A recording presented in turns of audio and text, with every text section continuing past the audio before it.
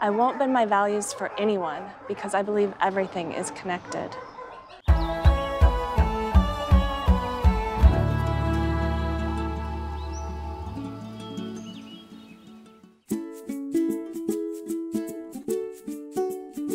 I believe that the least of us is as important as the greatest of us, and all of us need love.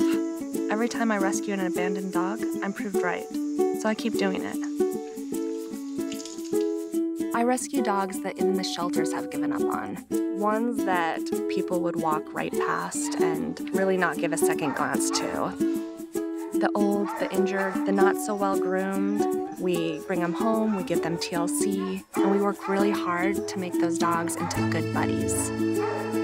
I created Beeple's Buddies because I believe all life is interconnected humans, animals, the environment. No life is more important than the other. I wanted to show that to the world and do something special with it. As a social worker, I have a lot of experience working with people, which helps me to better match them with possible forever buddies.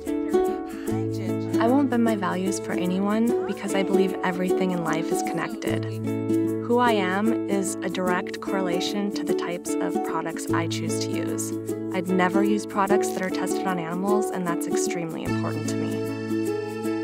Every time we adopt out an animal and connect him or her with a forever parent, we plant a tree in their honor with Tree People to symbolize that connection. I would say always try to find that inner voice and to never give up on it because anything is truly possible. It feels good to do good.